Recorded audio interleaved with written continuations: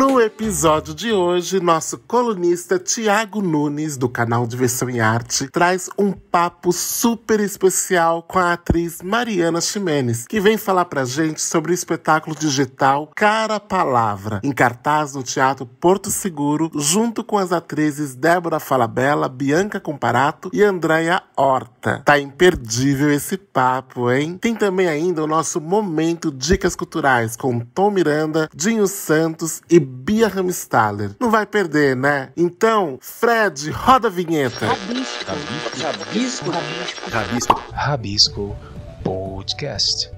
Uma produção, canal Diversão e Arte. Oi, pessoal, tudo bom? Tô aqui com a Mariana Ximenes, que vai contar um pouco pra gente sobre o espetáculo Cara Palavra, que está sendo online na plataforma do Teatro Porto Seguro. É um projeto com ela, Andréia Horta, Débora Falabella e Bianca Comparato. Oi, Mari, tudo bem?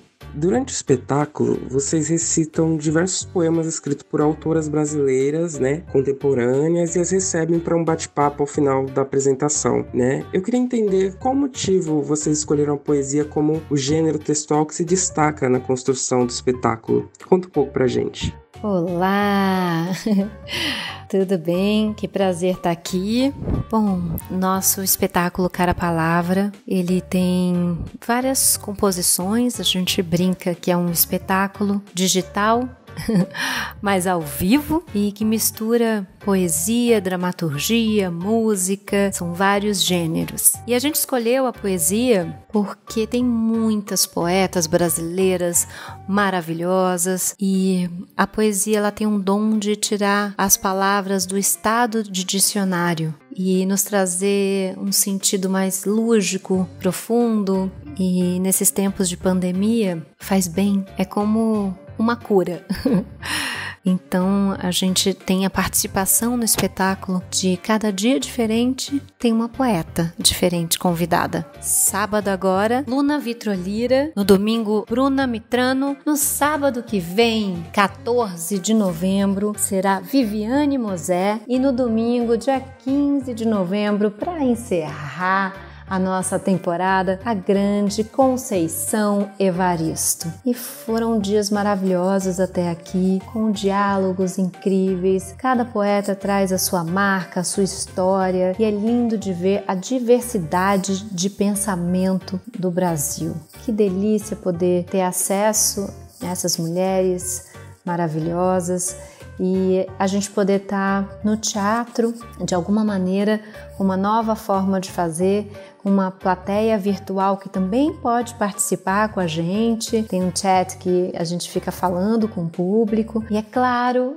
que a gente tem vontade de levar isso para o teatro físico quando essa pandemia passar, para a gente receber o carinho do público e poder se abraçar também nos, nos bastidores, porque eu sinto falta de contracenar olho no olho, de estar com as minhas amigas.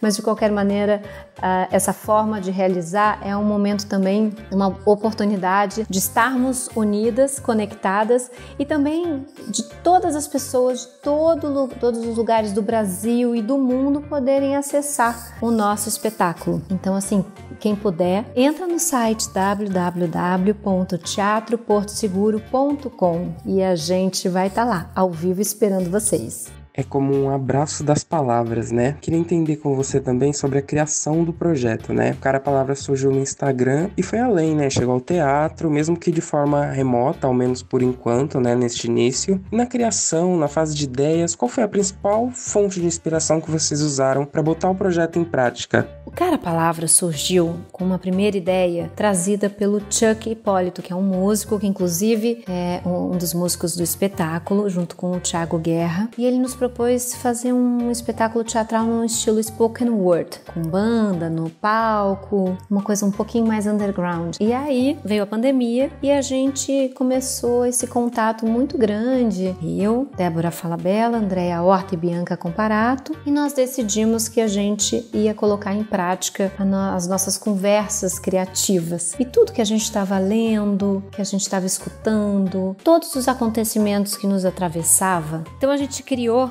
o Instagram cara.palavra, porque a gente pegava temas que nos atravessavam e, e traduzíamos isso artisticamente. Então foi uma forma da gente se reinventar, da gente, da gente também poder realizar algum projeto, pílulas assim. E era uma produção super artesanal de casa mesmo. A gente se filmava, aí a gente chamou dois amigos para editar e os, os outros dois amigos para fazer uma trilha e foi assim uma criação coletiva entre amigos. E nós tivemos o convite do Teatro Porto Seguro e estamos tendo essa oportunidade de fazer esse espetáculo, cada uma num lugar.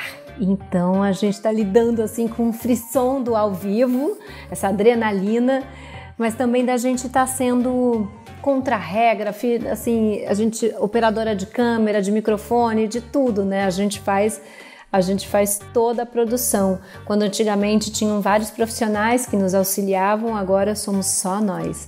E isso também é uma grande aventura. A arte tem esse papel, né, Mari, de nos provocar, instigar, refletir, transformar, colher, né, como você mesma disse. É qual ou quais, né, temas que você acha que tem mais urgência da gente debater nesse momento, né, enquanto sociedade mesmo, enquanto pessoas, que precisa assim de uma urgência na nossa de mudança mesmo.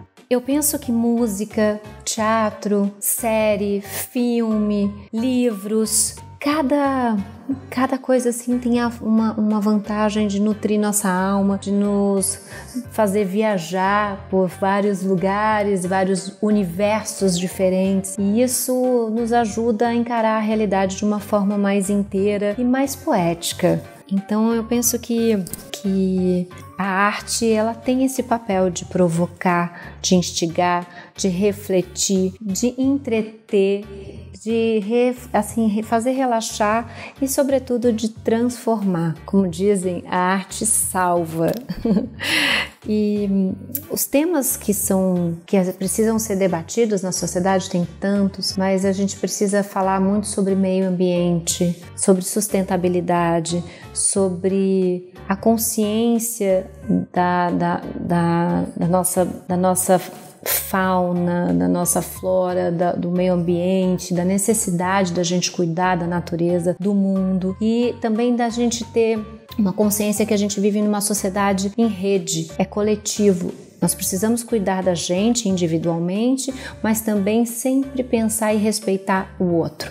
Pensar num mundo com mais diversidade, mais solidariedade, mais respeito, mais justiça. Que a gente não tenha mais violência contra a mulher, contra a violência de gênero, racismo. A gente precisa de fa falar de muitas lutas e se unir para isso. Para a gente também, na nossa atitude diária, poder projetar o mundo que a gente quer viver no futuro, mas aí é ter ações cotidianas de mudança. Ah, isso é verdade. A mudança começa nas nossas pequenas atitudes no dia a dia mesmo, quem tá próxima de nós. Falou tudo. É, agora, surgiu uma curiosidade que eu queria que você contasse um pouco pra gente. Qual foi o principal desafio na montagem do espetáculo, preparando tudo assim à distância, estando em diferentes cidades, estados e até mesmo países? Conta um pouco pra gente. Olha, a gente tem que lidar com o santo do Wi-Fi, né? A gente tem que, tem que dar uma rezada, né? Pra gente, pra tudo dar certo, para as conexões estarem boas. Mas também é uma nova forma de realizar, de fazer, de estar no espetáculo. E os problemas também que a gente enfrenta faz parte. As adversidades a gente absorve de forma criativa. Né? E assim, por exemplo, um dia faltou luz no ensaio, eu fiz a peça toda à luz de velas, então é, falei, se um dia isso acontecer, eu posso experimentar esse tipo de coisa. Então a gente tá, é uma forma também da Bianca poder participar, estando nos Estados Unidos, da Andréia Horta, que está no Rio, também está junto, e do público de todo o Brasil, de todo mundo, quem quiser entrar, pode estar conectado naquele momento com a gente. Então é, um, é uma experiência nova, diferente que está me dando um imenso prazer e a gente quer que o público apareça. Então, olha só, espetáculo do Cara Palavra, todo sábado e domingo, às 8 horas da noite, ao vivo. Só pode assistir às 8 da noite, da plataforma do Teatro Porto Seguro, www.teatroportoseguro.com.br. Entra lá, compre o nosso ingresso. O preço é colaborativo, vai de 20 reais a 100 reais. Você pode dar o valor que você puder. Parte dessa renda vai para um fundo que ajuda os profissionais do, do, teatro que ficaram em situação de vulnerabilidade nessa, nessa pandemia. Então, se você estiver tranquilo aí no seu sofá, entra lá, faz, entra no link e assista esse espetáculo que a gente vai receber vocês com maior prazer. E todo dia tem uma poeta diferente, então o bate-papo é diferente.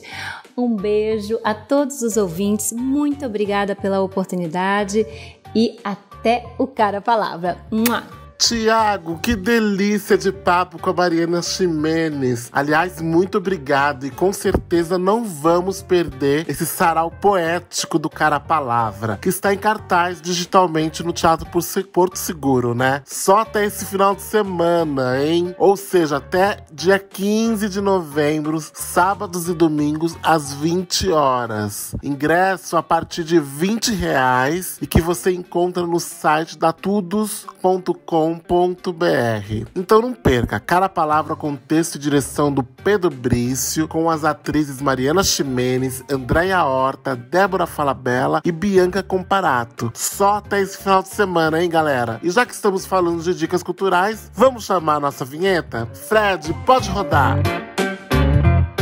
Todo mundo espera alguma coisa de um sábado à noite. Bem no fundo, todo mundo quer zoar. Todo mundo sonha em ter uma vida boa. Sábado à noite, tudo pode mudar. Suas dicas culturais no Rabisco Podcast. Um oferecimento canal de versão em arte. A sua identidade digital brasileira. Fala, ouvintes do Rabisco Podcast. Aqui é Tom Miranda mais uma vez e trago amor e algumas dicas culturais para vocês. Bom, vamos lá. Minha primeira dica é essa nova temporada ou retomada para o nosso programa do canal de versão em arte, o Barulhinho Bom. Estávamos todos com saudades desse programa que tem na música o seu tema central. E nessa sexta-feira no nosso canal do YouTube, no nosso site, canaldiversãoearte.com.br, a gente retoma o Barulhinho Bom com uma versão remota, onde eu, Tom Miranda, Bia Ramstaller e Dinho Santos conversamos com artistas que estão lançando novos trabalhos no mercado. O primeiro é com o brilhante cantor, compositor e pianista pernambucano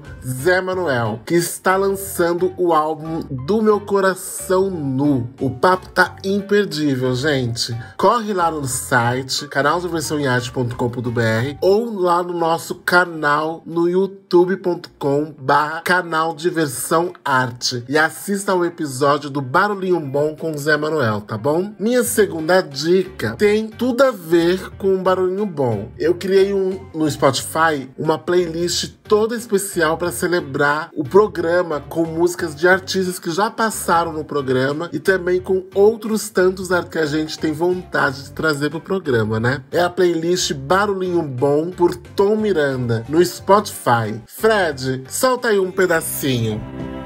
When you're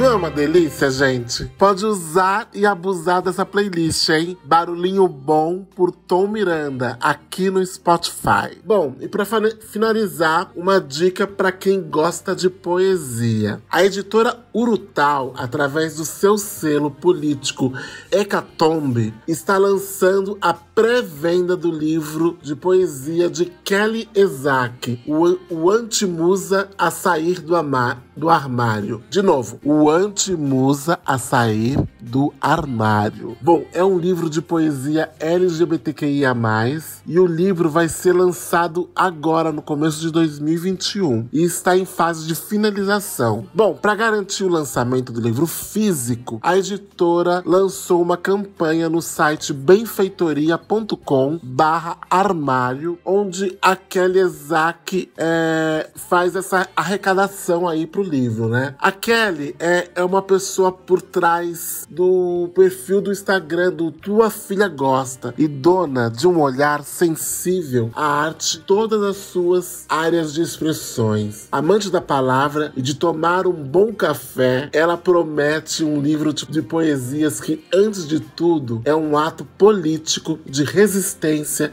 a toda essa onda conservadora antiquada que assolou o mundo nesses últimos tempos. Se você então quer ajudar a concretizar a abertura desse armário, entra lá no site benfeitoria.com/armário e escolha um dos oito valores e recompensas para adquirir o livro Antimusa a sair do armário. Bom, gente, é isso aí. Vou ficando por aqui e deixo aqui meu abrejo para todos vocês, tá? E vocês, Dinha Dinho e Bia, quais as novidades de dicas culturais que vocês prepararam para essa semana para os nossos ouvintes?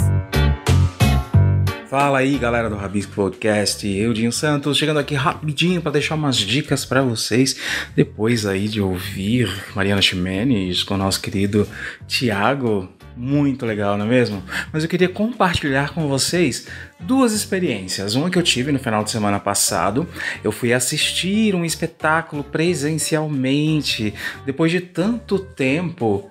Nossa, foi assim muito emocionante passar por entre as cadeiras do teatro e tudo mais, mas seguindo todos os, uh, os a rigor, todos os critérios de segurança, os protocolos de segurança. E o espetáculo se chama exatamente Protocolo, Protocolo Volpone, é, com a Irina Ranaldi e grande elenco.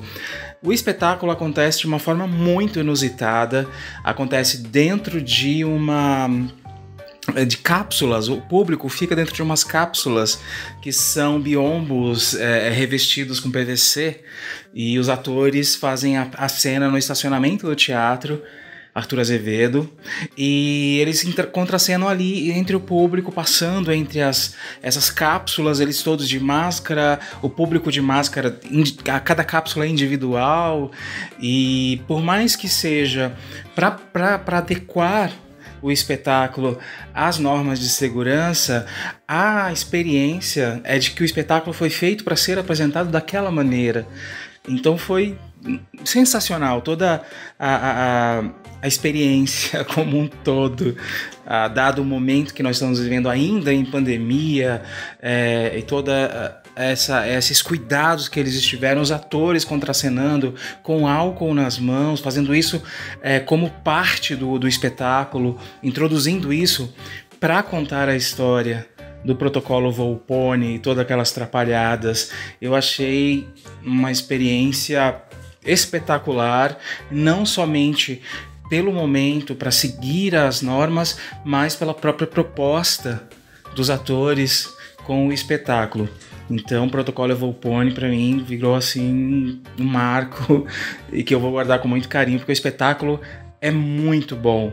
Não só a experiência e todo esse contexto que eles colocaram para seguir os protocolos de segurança, o próprio espetáculo é bom. A ideia é maravilhosa e inserir dentro desse universo para contar a história que eles quiseram contar e introduzir o momento atual como forma de apresentar o espetáculo é, é, espetacular mesmo. Eu acho que não tem outra palavra. É sensacional. Parabéns, Protocolo Volpone. E a segunda experiência, também experiência pessoal, é com o espetáculo do Teatro Porto Seguro, o X, o Ex Reality. São três artistas que disponibilizam a tela do seu celular 24 horas por dia e você pode acompanhar, tem um chat no sistema e eles podem interagir com os espectadores. Você acompanha o dia a dia pela tela do celular deles, no momento que eles fazem selfie, quando eles falam com pessoas, quando eles ligam, atendem, trocam mensagens no WhatsApp, tudo você acompanha. E eles fazem lives e tem provas que eles precisam. Quem perde acaba tendo que cumprir com essas atividades propostas e é muito bacana. E os espectadores têm a oportunidade de não só falar uh, pelo chat com esses artistas, mas também de se comunicar com eles por vídeo, é, através das, das lives. Eles convidam os espectadores a entrar na lives com eles tem algumas atividades e eu agora confesso para vocês que eu achei o máximo porque eu participei de várias das atividades. Eu aceitei a proposta do programa e embarquei junto com eles. Então, é, é, tudo que é proposto no programa eu acabo aderindo e falei, é para fazer, vamos lá. É super bacana e, e tem sido muito produtivo para mim também como pessoa, porque você vai criando as identidades com esses artistas.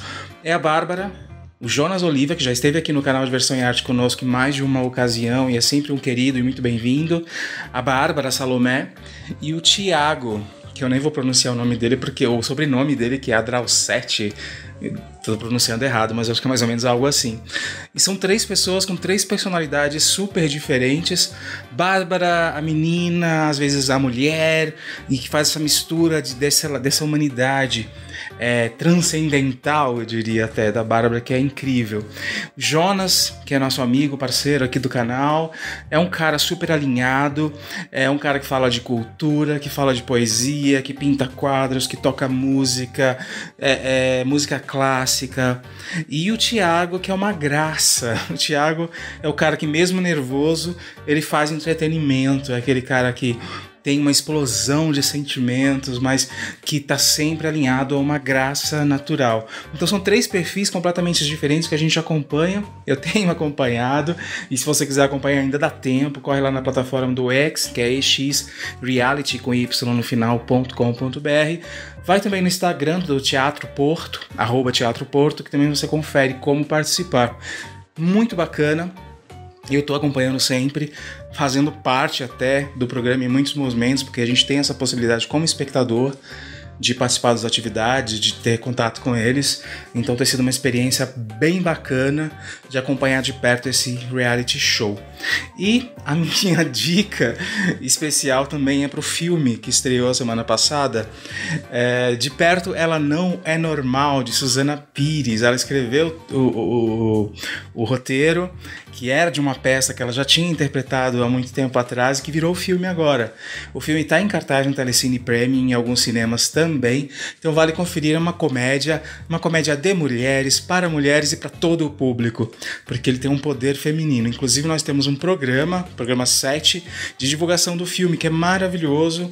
O programa tá maravilhoso e o filme também é, então confere lá. Tem um elenco excepcional, são grandes atores em cena. Tem desde Henry Castelli, Ivete Sangalo, é, Gabi Amarantos, tem a Jane de Castro, uma das últimas participações de um, de um, um filme inédito com ela que nos deixou recentemente. Então também vale pelo carinho. Então confere no Telecine Premium. De perto, ela não é normal, com Suzana Pires. E a direção é da Sininha de Paulo, que tem um programa no canal de Versão em Arte. Procura lá Sininha de Paulo, canal de Versão em Arte, você vai ver um bate-papo com ela. Não sobre esse filme, sobre um outro é, espetáculo que ela dirigia, mas vale conferir, sempre Sininha de Paula é sensacional. Então é isso, eu vou ficando por aqui. Agradeço a atenção de vocês, galera, e até o próximo programa aqui do Rabisco Podcast. Abraço! aí, Tom, e aí, Dinho, chegando aqui para mais uma dica cultural. Eu venho aqui hoje apaixonada pelas minhas dicas. É, são poucas, são duas dicas de teatro e uma dica de curso, mas três paixões na minha vida. Olha só. É, venho falando para vocês da mostra de repertório do, do, grupo Tapa online que vem acontecendo. Já, já, já tivemos duas peças em dois sábados e agora no próximo sábado mais uma peça. É, uma peça por sábado, elas são sempre diferentes. Sábado às 19 horas. O ingresso você compra pelo Simpla. Essa de sábado agora é CC do Pirandello. O grupo Tapa é um grupo, é, é um espetáculo, né? Ele é um dos grupos mais importantes de teatro do Brasil. É, tá fazendo 40 anos agora. É um grupo de peso, é um grupo de grandes atores, é um grupo grande. Então, não sempre estão todos em cena. Então, você vai é, escolhendo e, e vendo quem são os atores que estão em cena naquele espetáculo. O CC que acontece agora no sábado, Pirandello, 19 horas, é com André Garoli, Antoniela Canto e Riba Karlovic. É, sábado, dia 14 de novembro, amanhã. É, você pode comprar o seu ingresso agora, para não esquecer, e os ingressos são preços super simbólicos. É uma experiência linda, gente. Se você não assistiu, assista, se dê essa chance, porque é um presente que a gente dá pra gente. É, o Tapa veio numa pesquisa aí durante a, esse contexto de pandemia, de linguagem, porque teatro online não é o teatro que você simplesmente filma a peça no palco e, e coloca é, em cartaz. Tem uma questão de linguagem, de adaptação de linguagem, esse estudo que eles fizeram com muito cuidado. O resultado são peças curtas, é, deliciosas de ver é, uma estética maravilhosa, um tempo de, de cena exato, perfeito, é, e uma, uma mistura de um presente com o passado, com o futuro, afinal a gente está falando de é, assistir um espetáculo de forma online, né? Isso, é, isso é, é presente, mas é futuro imediato também. É lindo, é uma experiência maravilhosa. E eu venho assistindo desde o primeiro e espero poder assistir todos, porque fiquei fã assim de carteirinha, por isso que eu tô aqui indicando. Então, você pode comprar o seu ingresso pelo Simpla, preço super simbólico.